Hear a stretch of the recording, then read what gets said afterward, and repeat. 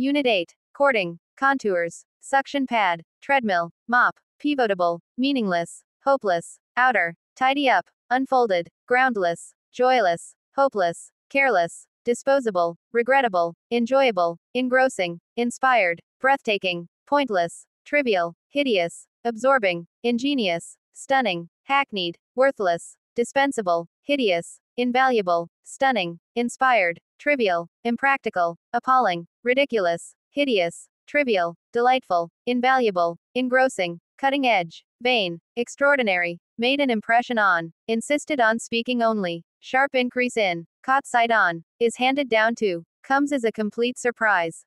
Was overcome by emotion. Lend me a hand. Take pride in. Proud of. Prevented from. Specialize in. Trust him in. Huge increase in. It will mean missing lunch. Apologize for not. Should have given you. Isn't required to apply for. Does nothing but. Wouldn't have been put off. Is honest in answering all the questions. On your side even if.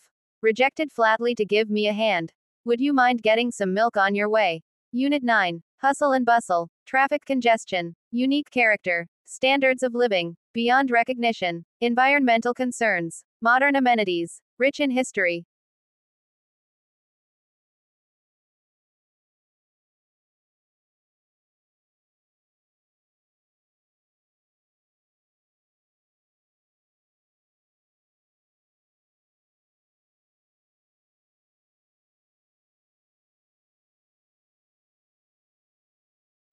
Suggest why the researchers recorded the ratio of alveolar surface area to body mass rather than just the alveolar surface area. Individual rats may have differed in mass, so comparing the alveolar surface area for small rat to a big rat will introduce another variable. The important feature is the ratio between surface area and mass or volume.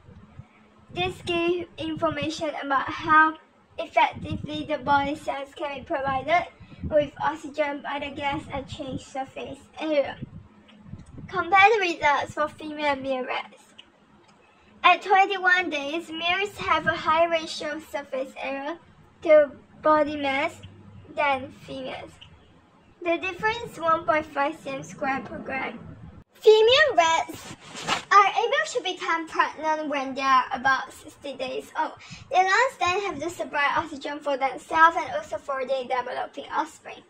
Suggest how could, the table correlate to this fact. About pregnant.